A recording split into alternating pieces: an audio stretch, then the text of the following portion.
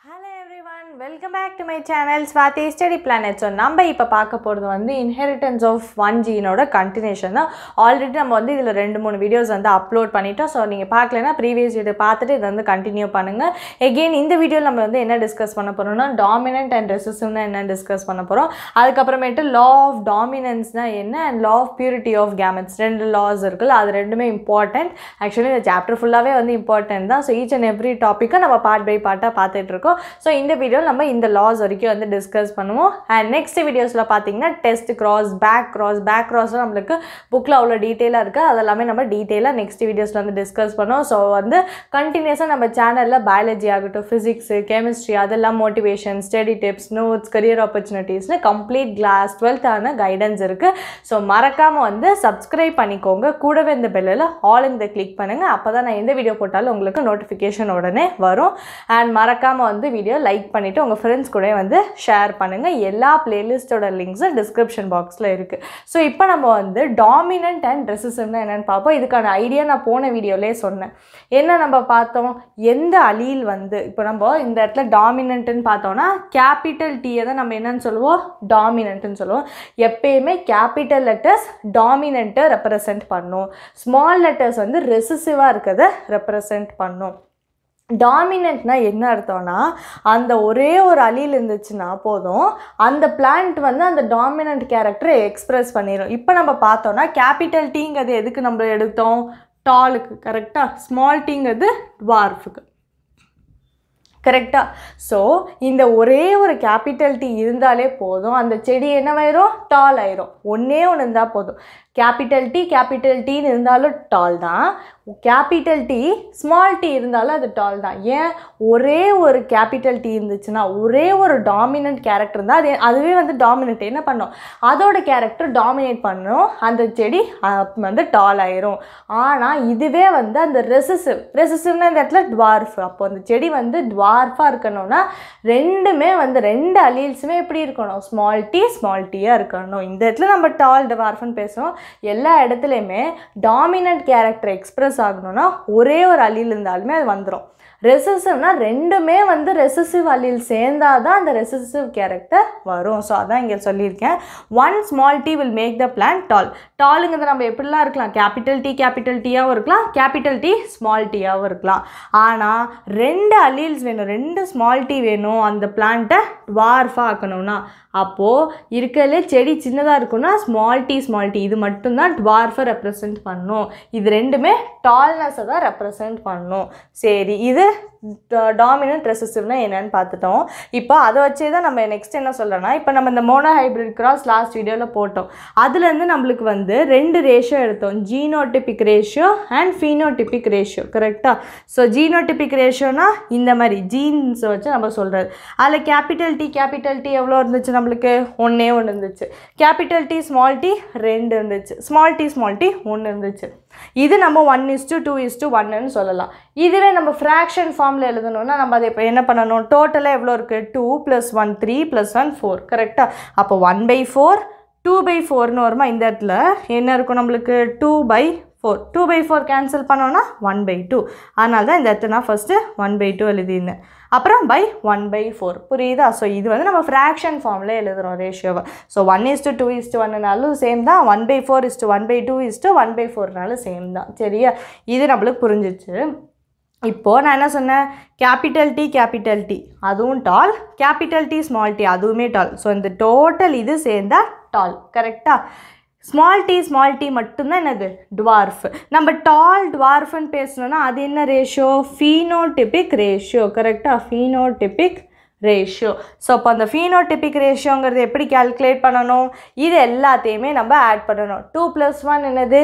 Three இங்கே ஒன்று தான் இருக்குது ஒன் ஃப்ராக்ஷன் ஃபார்மில் எழுதுனா one by two plus one by four three by four normal நம்மளுக்கு எல்சிஎம் மெத்தட் இங்கே ஒன் பை ஃபோர் அப்போது எல்லாமே மேட்ச் ஆகுது நான் நான் போன வீடியோவில் எக்ஸ்பிளைன் பண்ணேன். உங்களுக்கு தெளிவாக சொல்லணுங்கிறதுக்கு தான் இப்போ நான் சொல்கிறேன் so genotypic ratio phenotypic ratio வித்தியாசமானதெல்லாம் இல்லை. தனித்தனியாக பிரித்து எழுதணும்னா அந்த த்ரீங்கிறது எப்படி வரும்? ஒன் இஸ்டு டூன்னு வரும். இல்லை fraction ஃபார்ம்னா one by four is to one by டூன்னு வரும்.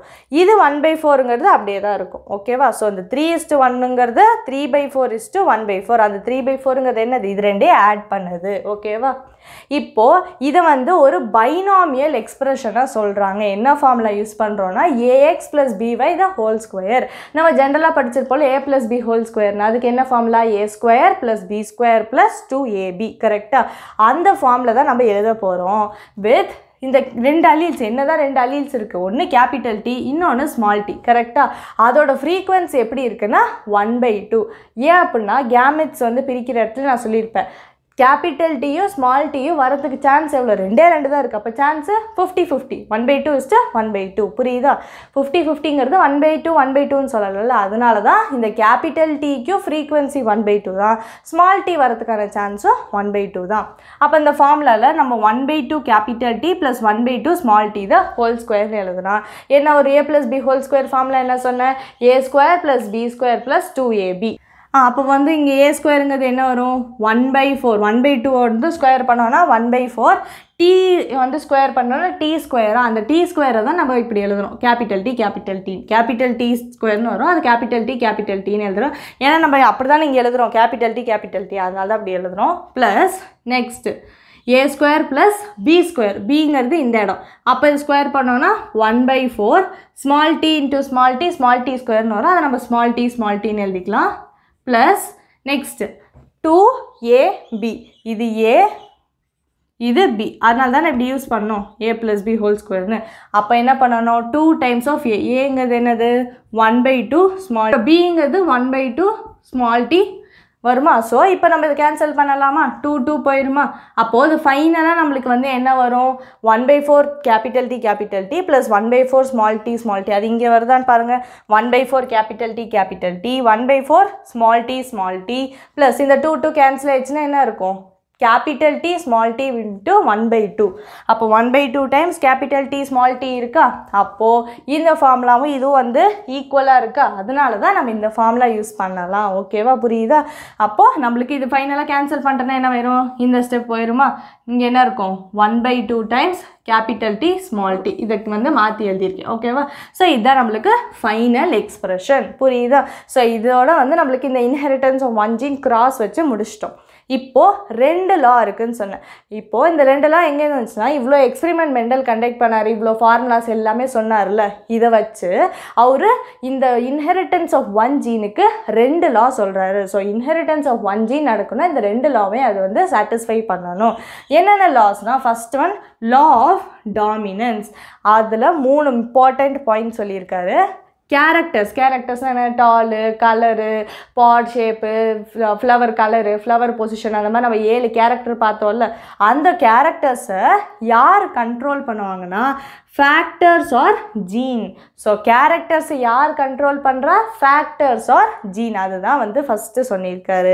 ரெண்டாவது என்ன சொல்லியிருக்காங்கன்னா அந்த ஃபேக்டர்ஸ் ஆர் ஜீன் வந்து பேர்ஸில் இருக்கும். நம்மளே பார்த்தோம்ல அலீல்ஸ் ரெண்டு இருக்கும்ல. ஸோ பேர் ஆஃப் அலீல்ஸில் தான் நம்மளுக்கு ஜீன் ஸோ ஜீனுங்கிறது வந்து பேர்ஸாக வந்து அக்கர் ஆகும் கேபிட்டல் டி ஸ்மால் டி இல்லைன்னா நம்ம கேபிட்டல் டபிள்யூ ஸ்மால் டபிள்யூ அந்த மாதிரிலாம் எழுதுவோம். Next in dissimilar pair of gene அப்படின்னா என்னது? இந்த இடத்துல பார்த்துக்கோங்க. இது மூணு தானே இருக்குது இதில் எது வந்து டிஸ்சிமிலராக இருக்குது நம்ம ஆல்ரெடி நான் வந்து ஹோமோசைகஸ் ஹெட்ரோசைகஸ்னால் என்னன்னு வந்து எக்ஸ்பிளைன் பண்ணியிருந்தேன். அந்த இடத்துல டிஸ்சிமிலர்னா என்னது? ஹெட்டிரோசைகஸ் இங்கே யார் ஹெட்டிரோசைகஸ் இது மூணில்? இது பார்க்க ஒரே மாதிரி தான் இருக்குது இதுவும் ஒன்றே தான் அப்போ இதுதான் டிஸ்சிமிலர் அப்போ இந்த டிஸ்சிமிலர் பேர் ஆஃப் அலீலுங்கிறது என்னது? இதுதான். இதில் என்ன சொல்கிறாருன்னா in dissimilar pair of genes one member of the pair இந்த ரெண்டு இருக்குல்ல டிசிமிலராக இருக்கிறது. ஐ மீன் ஹெட்டிரோசைகஸாக இருக்கிறதுல எடுத்துக்கிட்டிங்கன்னா ஒரு மெம்பர் என்ன பண்ணுன்னா டாமினண்ட்டாக இருக்கும். இன்னொரு மெம்பர் ரெசிசிவாக இருக்கும். ஓகேவா ஸோ தேர்ட் லாவில் என்ன சொல்லியிருக்காரு ஐ மீன் தேர்ட் பாயிண்ட்ல என்ன சொல்லியிருக்காரு? டிஸ்சிமிலராக இருக்கிறது ஹெட்ரோசைகஸாக இருக்கிறதுல ஒரு அலீல் வந்து டாமினண்ட்டாகவும் இன்னொன்று ரெசசிவாகவும் இருக்குங்கிறத சொல்கிறாரு இப்போது இந்த லா வந்து எதெல்லாம் வந்து எக்ஸ்பிளைன் பண்ணுது? இந்த லாலாம் சொல்லிட்டாருல இது எக்ஸ் இது வந்து எக்ஸ்பிளைன் பண்ணுதுன்னா expression of only one trait in F one and both இந்த எஃப் டூ நம்ம என்ன பார்த்தோம்? எஃப் ஒன் ஜென்ரேஷனில் எல்லா செடியுமே டாலாக இருந்துச்சு. அப்போ அதுக்கான ரீசன் என்னது? ஒரே ஒரு கேபிட்டல் டி வந்தாலே அது டாமினண்ட் ஆயிருக்கு. அதுதானே இந்த பாயிண்ட்ல சொல்கிறாரு அதனால அவர் சொன்னது வந்து அந்த எஃப் ஒன் ஜென்ரேஷனில் இப்போ சாட்டிஸ்ஃபை ஆகுதா? அப்புறம் எஃப் டூ ஜென்ரேஷனில் என்ன ஆச்சு டால் பிளான்ஸும் இருந்துச்சு ஷார்ட் பிளான்ஸும் இருந்துச்சு. இங்கே நம்ம பார்த்தோம்ல அது எதனால நடக்குது? ரெண்டு இந்த மாதிரி ஸ்மால் டீ ஸ்மால் டீ வந்தால் தான் என்ன ஆகுது அந்த செடி வந்து டுவார்ஃபாக இருக்குது அப்போ அதையுமே இவர் சொன்ன லா வந்து எக்ஸ்பிளைன் பண்ணுது. அது இல்லாமல் வந்து இந்த த்ரீ இஸ் டு ஒன் ரேஷியோங்கிறதுக்குல அதையுமே இவரோட லா வச்சு நம்ம கண்டுபிடிக்கலாம். எப்படி இந்த த்ரீ இஸ் டு ஒன் வந்துச்சுன்னு இப்போ தான் நம்ம போட்டோம். அதனால தான் வந்து இந்த லா வந்து அவர் சொன்னது கரெக்ட் அப்படிங்கிறத நம்ம ஃபாலோ பண்ணுறோம் இது ஒரு லா நம்ம முடிச்சிட்டோம். இன்னும் ஒரே ஒரு லா இருக்குது அதை இப்போ நம்ம பார்த்துருவோம் இப்போ இந்த செகண்ட் லா என்னென்னா law of segregation or law of purity of gametes அப்படின்னு சொல்கிறோம் ஸோ இந்த லா வந்து என்ன என்னத்தை தான் வந்து சொல்ல சொல்லுதுன்னா இப்போ நம்ம அலியல்ஸ் பார்த்தோம்ல இந்த அலியல்ஸ் வந்து எந்த விதமான பிளெண்டிங்கும் காமிக்காது. இது நான் ஃபஸ்ட்டே சொல்லியிருப்பேன். நம்ம இப்போ எடுத்துக்கிட்ட எக்ஸாம்பிளே பார்த்தீங்கன்னா எய்தர் செடி வந்து டாலாக இருந்துச்சு எஃப் ஒன் ஆகட்டும் எஃப் டூ ஆகட்டும் எய்தர் வந்து அது டாலாக இருந்துச்சு இல்லை ஷார்ட்டாக இருந்துச்சு மிடில் ஹைட் அப்படின்னு எந்த பிளான்ஸுமே இல்லை கரெக்டாக ஸோ அதனால வந்து அலியல்ஸ் வந்து எப்பயுமே பிளெண்டெல்லாம் ஆகாது. டால் தான் அது டாலாகவே தான் இருக்கும். ஷார்ட்னா ஷார்ட்டாகவே தான் இருக்கும். மிடில் ஹைட் அப்படின்னு எதுவுமே கிடையாது. ஸோ இது மிடில் ஹைட் அப்படின்னு இந்த ஹைட்டுக்குன்னு இல்லை எந்த இடத்துல எடுத்துக்கிட்டாலும் அந்த அலியல் வந்து அந்த பர்டிகுலர் கேரக்டர் மட்டும்தான் செய்யுமே ஒழிய அது ரெண்டும் கம்பைன் ஆனோடனே வந்து வேறு ஏதோ புதுசான கேரக்டர் ஏதோ புதுசான பிளெண்டிங் நடக்காது. ஓகேவா ஸோ இப்போ நம்ம பேரண்ட்ஸ் எடுத்துக்கிறோன்னா பேரண்ட்ஸ்டே எப்பயுமே ரெண்டு அலீல்ஸ் இருக்கும். கரெக்டாக இப்போ கேமெட் ஃபார்மேஷன் அப்போது என்ன ஆகும் அலீல்ஸ் வந்து செப்பரேட் ஆகும். இது நான் வந்து உங்களுக்கு சொல்லியிருக்கேன். அப்போது அந்த அலீல் செப்பரேட் ஆகும்போது ஒரு கேமெட் எடுத்துக்கிட்டோன்னா அதுக்கு ஏதாவது ஒரு அலீல் தான் கிடைக்கும். ரெண்டுமே ஒரே கேமெட்டுக்குள்ளே போகாது கரெக்டாக அப்புறம் போகிற அழியில் வந்து எப்படி இருக்கும்னா அதோட கேரக்டருக்கு வந்து பியோராக இருக்கும்.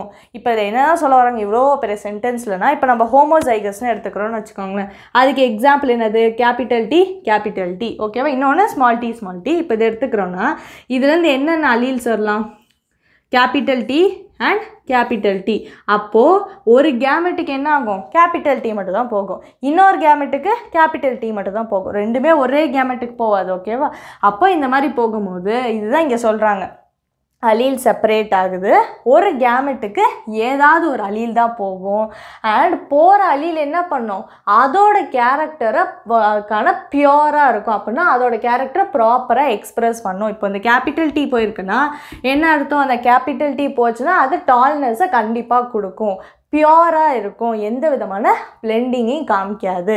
இப்போ நம்ம ஸ்மால் டீ ஸ்மால் டீ எடுத்துக்கிறோம்னா அதுவுமே ஹோமோசைகஸ் தான். அதுலேருந்து என்ன வலீல்ஸ் வரும் ஸ்மால் டீ ஸ்மால் டீ அப்போ ஒரு கேமெட்டிக் ஸ்மால் டீ இன்னொரு கேமெட்டுக்கு ஸ்மால் டீ அது எங்கே போனாலும் என்னத்தை தான் எக்ஸ்பிரஸ் பண்ணும்? டுவார்ஃப்னஸை தான் எக்ஸ்பிரஸ் பண்ணும். இப்போ இதுவே ஹெட்டிரோசைகஸ் எடுத்துக்கிறோன்னா கேபிட்டல் டீ ஸ்மால் டீ அப்போ இதுலேருந்து வந்துச்சுன்னா கேபிட்டல் டீ ஒரு அலில் ஸ்மால் டீ ஒரு அலில். ஸோ ஒரு கேமெட்டு கேபிட்டல் டீ போகும் இன்னொரு கேமெட்டுக்கு ஸ்மால் டீ போகும். கேபிட்டல் டீ போச்சு அது டால்னஸ் தான் எக்ஸ்பிரஸ் பண்ணும். ஸ்மால் டி போச்சுன்னா அது டுவார்ஃப்னஸை தான் எக்ஸ்ப்ரெஸ் பண்ணும். அந்த இதுக்கான அதோட கேரக்டருக்கு அது பியூராக இருக்கும். அதுதான் law of purity of gametes அந்த கேமெட்டில் இருக்க அலில் அதுக்கு பியூராக இருக்கும்.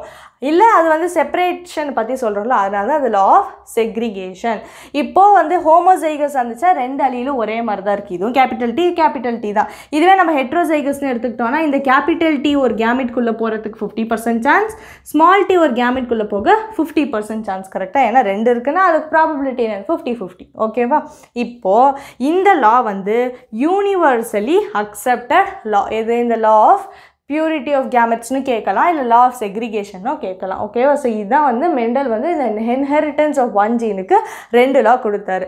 ஸோ இதோட லா முடிஞ்சிச்சு. நான் சொன்ன மாதிரி நெக்ஸ்ட் வீடியோவில் டெஸ்ட் கிராஸ்னால் என்ன? பேக் கிராஸ்னால் என்ன அப்படிங்கிறத நான் உங்களுக்கு டீட்டெயிலாக எக்ஸாம்பிளோட வந்து எக்ஸ்பிளைன் பண்ணுறேன் அதுக்கப்புறமேட்டு இன்கம்ப்ளீட் டாமினன்ஸ் அந்த மாதிரி ஃபர்தர் டாபிக்ஸ் நம்ம வந்து கண்டினியூ பண்ணுவோம். ஸோ வந்து மறக்காமல் வந்து சப்ஸ்கிரைப் பண்ணிடுங்க கூடவே இந்த பெல்லை த கிளிக் பண்ணுங்கள் வீடியோ பிடிச்சதை லைக் பண்ணிட்டு உங்கள் ஃப்ரெண்ட்ஸ்க்கு ஷேர் பண்ணுங்கள் நான் சொன்ன மாதிரி எல்லா சப்ஜெக்ட்ஸோட பிளேலிஸ்ட் லிங்க்ஸை டிஸ்கிரிப்ஷனில் இருக்க. செக் பண்ணி பாருங்கள் நான் வந்து அவங்கள நெக்ஸ்ட் எடுக்கக்கூடிய வீடியோஸில் பார்க்குறேன். ஸ்டில் தென் ஸ்டேட்யூன் பாய்